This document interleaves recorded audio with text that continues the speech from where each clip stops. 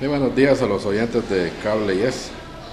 Eh, efectivamente, bomberos voluntarios cubrieron las siguientes emergencias. De lo que es Barrio Latino se trasladó a la paciente Marta Lidia Mateo. Ella pues eh, presentaba posible fractura de tibia y peroné, lado derecho. Esto se, le, se la ocasionó pues al caerse accidentalmente, fue estabilizada y trasladada al hospital de Jutiapa. También de lo que es eh, Buenavista, Cantón Valencia, se trasladó al paciente Jaime Virula Pérez.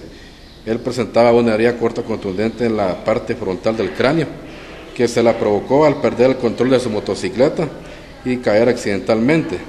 Él se estabilizó también y fue trasladado al hospital de Jutiapa.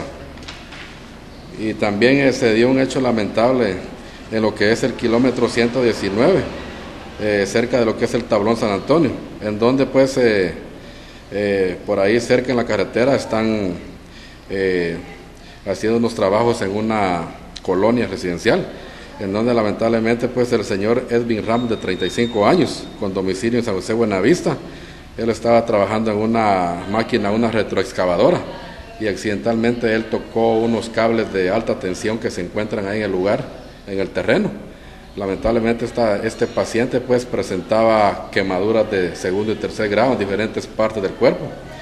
Y él pues se, estabilizó, pero en estado único fue trasladado al hospital de Jutiapa. Lamentablemente pues no tomó sus precauciones y con la, se puede decir con la mano en mica, tocó accidentalmente los cables. Este paciente pues ya quedó recluido en el hospital de Jutiapa para su evaluación médica.